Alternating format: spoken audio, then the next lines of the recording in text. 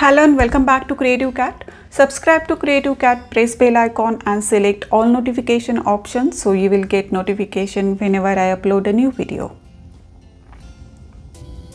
You have seen this project in my homemade glass paint tutorial. Today I will show you how I made it. I made this design myself inspired from a tattoo design. Take out the glass from frame Fix your design paper to the glass with tape. You can use any other design, you can make your own or you can get a printout. Now with my handmade 3D outliner, I will make the outlines. I'll, I'll share this design on my Facebook page so you can download it from there. You will find my page link in description box.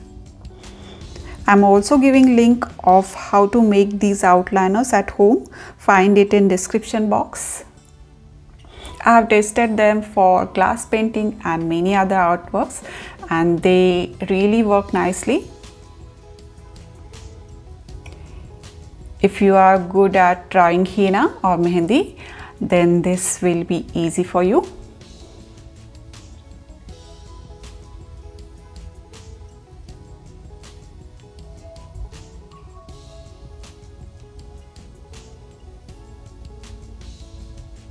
Let these outlines dry completely. After drying, I'll paint it. Here are my homemade glass paints. They are not runny like ready-made paints, uh, ready-made glass paints. You simply need to use them like normal paints.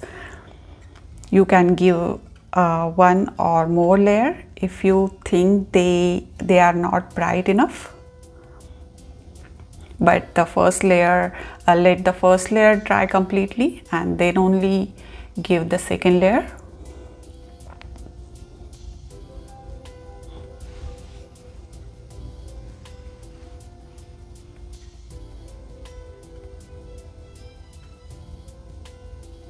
You can also mix the shades easily like this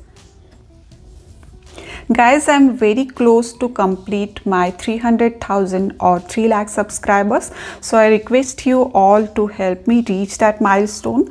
So if you haven't subscribed already, then please consider subscribing and recommend my channel to everyone you know who is interested in the type of projects I make. I know you guys will always support me.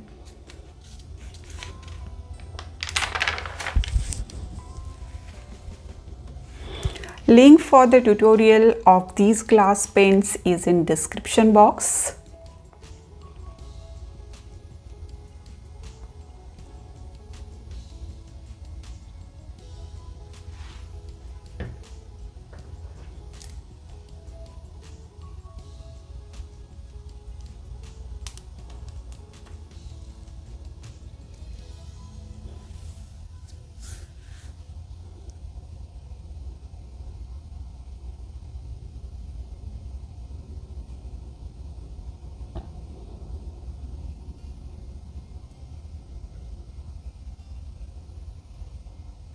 Let the paints dry completely. I'll take out the paper so you can see how it looks on glass.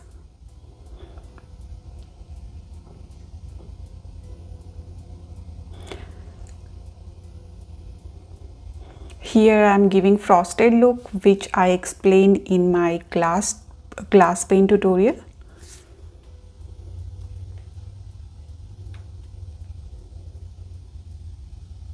Once dries, cover it with a good varnish to seal the pens.